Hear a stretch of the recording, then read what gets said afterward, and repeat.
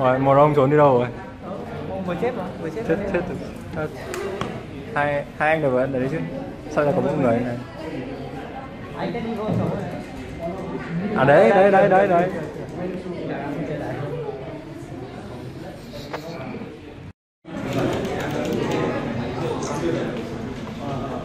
cái năm ngắm mình là năm ngắm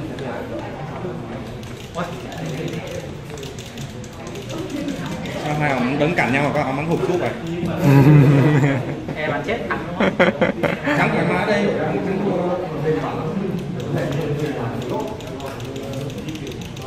Ông vẫn di chuyển được hai phóng viên không vậy